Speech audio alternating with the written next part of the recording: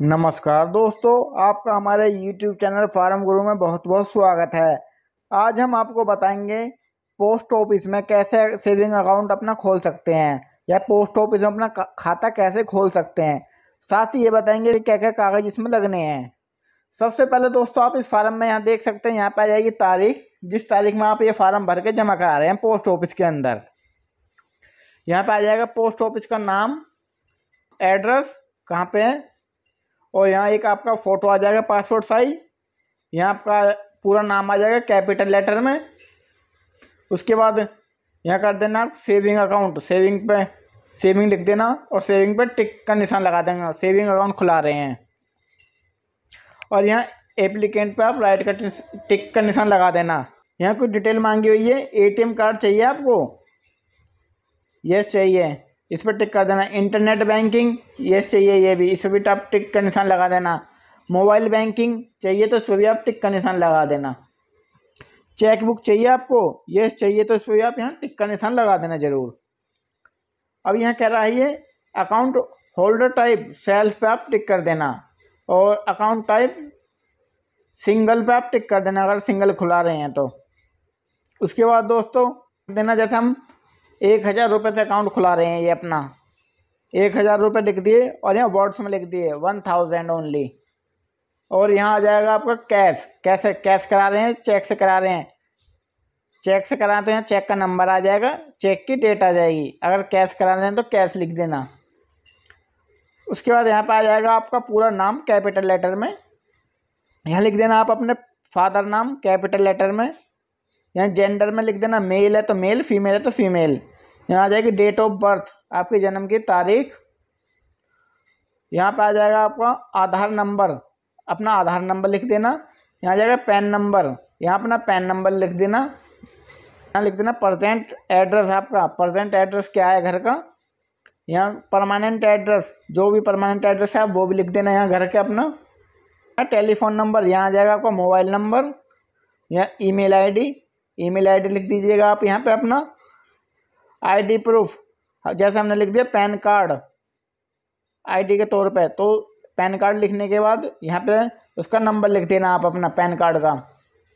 फिर यहाँ कह रहा है एड्रेस प्रूफ। एड्रेस प्रूफ हमने लिख दिया आधार कार्ड। आधार कार्ड लिखने के बाद उसका यहाँ नंबर लिख देना आधार कार्ड का। क्योंकि आधार कार्ड और पैन कार्ड मस्ट है खाता खुलवाने के लिए। उसके बाद दोस्तों यहाँ नीचे देख सकते हैं आप, यहाँ तीन जगह आप अपने सिग्नेचर कर देना। एक, दो, तीन और यहाँ अपना नाम लिख दीजिएगा। इसके बाद हम दोस्तों नेक्स्ट पेज पर आते हैं। कुछ डिक्लेरेशन दी हुई है, ये हमें भरने की ज़रूरत नहीं है, ये छोड़ देना। इसके बाद यहाँ नीचे देखना, इसी फार्म में। यहाँ तारीख लिख देना, जिस तारीख में आप ये फार्म जिस तारीख में आप अकाउंट खुला रहे हैं, यहाँ आपके सिग्नेचर आ जाएँगे। यहाँ पे आपका पूरा नाम आ जाएगा कैपिटल लेटर में। और ये कह रहे हैं नॉमिनी नेशन नॉमिनी किसको बनाना चाहते हैं आप? वाइफ को, अपने माता को, पिता को किसको बनाना चाहते हैं? जैसे हमने यहाँ लिख दिया वाइफ यहाँ उसका वाइफ का नाम आ जाएगा नॉमिनी का नाम आ जाएगा, जिसको आप नॉमिनी बना रहे हैं, और रिलेशन भी लिख देना ब्रैकेट में डाल के। क्या रिलेशन है आपका उससे? यहाँ नॉमिनी का एड्रेस आ जाएगा, यहाँ आधार नंबर आ जाएगा नॉमिनी का, और यहाँ आ जाएगी नॉमिनी की डेट ऑफ़ बर्थ और कितने परसेंट का उसे बना रहे हैं? हंड्रेड परसेंट दिख दे, जैसे हम सिंगल बना रहे हैं तो हंड्रेड परसेंट अगर एक से ज़्यादा बनाते, जैसे चार ऑप्शन दिए हुए हैं, मानो चार नॉमनी बना देते तो पच्चीस पच्चीस परसेंट आ जाएगा सब उनमें। अगर दो नॉमनी बनाते हैं तो पचास पचास परसेंट आ जाएगा। उसके बाद दोस्तों, यहाँ नीचे देखिएगा आप डिटेल दीजिए कुछ। यहाँ नॉमनी का नाम आ जाएगा। उसके बाद यहाँ दो बिटनेस चाहिए हमें। पहला बिटनेस जैसे मैं अपना दोस्त बना रखा है राम कुमार उसका नाम आ जाएगा और यहाँ उसका एड्रेस आ जाएगा। सेकंड विटनेस हो गया, दूसरा दीपक शर्मा, यहाँ उसका नाम आ जाएगा और यहाँ उसका एड्रेस आ जाएगा। ज़रूरी नहीं कि इन विटनेसों का अकाउंट पोस्ट ऑफ़िस में हो। कोई ऐसा ज़रूरी नहीं है। ना भी होगा तो भी ये विटनेस चलेंगे। यहाँ पहले हिसाब का क्या है, उसे लिख देना। जैसे हम हमारा न्यू दिल्ली न्यू दिल्ली डाल दिया और तारीख, जिस तारीख में आप अपना खाता खुला रहे हैं और यहाँ आ जाएँगे आपके सिग्नेचर नीचे का हमें भरने की ज़रूरत नहीं है, ये फोर ऑफ़िस यूज़ के लिए है। उसके बाद दोस्तों हम नेक्स्ट पेज है के वाई सी का फॉर्म यहाँ पे आपका पूरा नाम आ जाएगा कैपिटल लेटर में। यहाँ मांग रहा C I number account number ये हमें लिखने की ज़रूरत नहीं है, क्योंकि हम नया फार्म भर रहे हैं। और ये इंग्लिश में सिग्नेचर आ जाएँगे, यहाँ हिंदी में।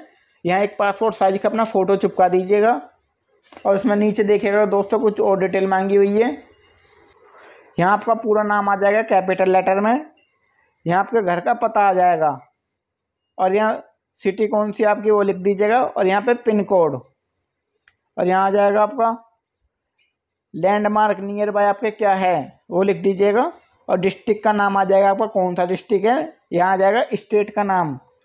और यहाँ लिख देना आप अपना ईमेल आईडी और यहाँ पैन नंबर यहाँ पर आ जाएगा आपका मोबाइल नंबर यहाँ आ जाएगा आपका आधार नंबर उसके बाद दोस्त प्रूफ ऑफ़ आइडेंटिटी में हमने पैन लिख दिया, पैन कार्ड, और उसका नंबर डाल दिया। प्रूफ ऑफ़ एड्रेस ये हमने आधार कार्ड लिख दिया, और उसका नंबर डाल दिया। और यहाँ अपने सिग्नेचर कर दिए। और ये हमें नीचे का भरने की ज़रूरत नहीं है फोर ऑफ़िस यूज़ के लिए है। दोस्तों, हमारा ये फार्म भर के तैयार है। आपको एक स्लिप भी भर के जमा करानी होगी, जिससे आप पैसे जमा कराएँगे। सबसे पहले आप यहाँ लिख देना सेविंग अकाउंट पर टिक कर देना। और यहाँ लिख देना आपका डाकघर का नाम, खाता संख्या आप खाली छोड़ देना, तारीख लिख देना, और यहाँ लिख देना आपका नाम आ जाएगा। कितने आप जमा करा रहे हैं अकाउंट खोलने के लिए? वैसे पाँच सौ रुपये से शुरू हो जाता है खाता खोलना। जैसे हमने एक हज़ार जमा कराए हैं तो एक हज़ार लिख दिए। यहाँ कैश करा रहे हैं चेक से करा रहे हैं? जैसे हमने कैश करा रहे हैं तो कैश लिख दिए।